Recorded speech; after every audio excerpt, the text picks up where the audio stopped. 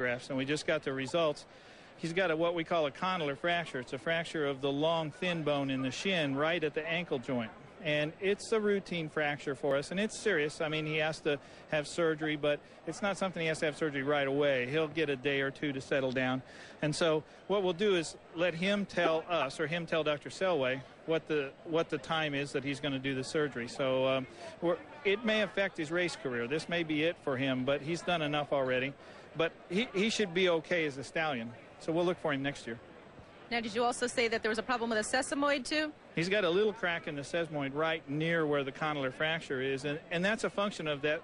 This probably happened right near the wire, even though he pulled up a little bit afterwards. They try to go on with this. They, they're not really sure what's going um, about, but he's not comfortable. You can see right there he's not comfortable. Chris Antley's looking around trying to find a place to pull him up without a horse behind him, and he immediately gets off, and he knows that the horse's left front is not right, so he gets down on the ground and tries to protect that leg, which is really important for the, the, the long-term aspects of his career. It didn't go through the skin or any of those problems which you sometimes have to worry about when the horse tries to go farther. So mm-hmm. there are some fortunate things about the accident, but it's really heartbreaking for a horse of this caliber. Well, it's good that it happened at the end of a mile and a half, and he was easy to pull up instead of at the beginning, which is a lot harder for a rider to get the horse stopped, and then the injury could have been much more severe. Well, that's for sure. I mean, it, if it happened during the middle of the race, he would have been thinking it was still going on. Well, Dr. Bramlage, nothing personal, but we don't like when we have to talk to you on the air, but we certainly do appreciate your expertise and taking the time to explain. His racing career may be in doubt, and you see Chris Antley embracing the owner, Bob Lewis. Chris, I think twice prior in the in the Derby and in the Preakness, uh, and that's been a big asset to his performance. Um, you know, I've always let him run out of there, run a couple strides, gather him up, and let, and let him run into the bridle. And that's what we did today, and that's where he found himself. I didn't know if he would be in the first or second tier, but I let his stride judge the pace. Um, he was very comfortable there. He was relaxed. He let the filly go on and, and, and give, me, give me a target and, and just kind of sit off of her. I went to the three or four path down the backside, and he was so comfortable. He, he pricked his ears. He got off the bridle and was just galloping effortlessly. So I was very comfortable and pleased with his position there.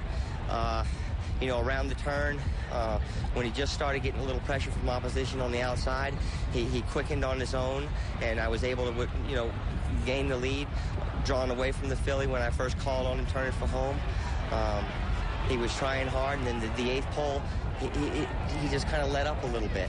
I, I noticed it seemed like he kind of I wasn't just sure kind of ran out of steam, maybe. I wasn't sure why, but he just kind of geared down a little bit, and you know I continued to ride him. But at that time, you know there was a closer on the outside that went by us, the eventual winner, um, the six horse, and uh, the six horse went by me, and I rode him just enough to hang on for third. Um, you know, not really whipping him anymore. And uh, after the wire, I don't know how many strides it was. I can't recall three or four strides.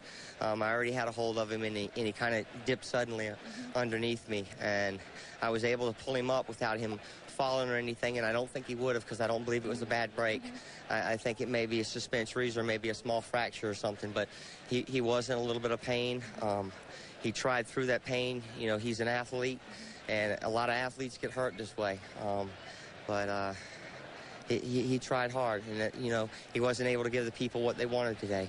Well, I'm sorry that your Triple Crown hopes didn't turn out the way you wanted, but Charismatic did bring you to the Derby winner circle and the Preakness winner circle. It's been one heck of a comeback for you as a rider. It was a it was a great trip getting here, and and you know these kind of things happen. It's it's all a part of sports, and and you know he's an athlete and he tried hard and you get hurt and and you know good horses have problems and they try hard and they get hurt and and that goes with any athlete and you know hopefully he's okay. And you know maybe he's going to be a daddy one day.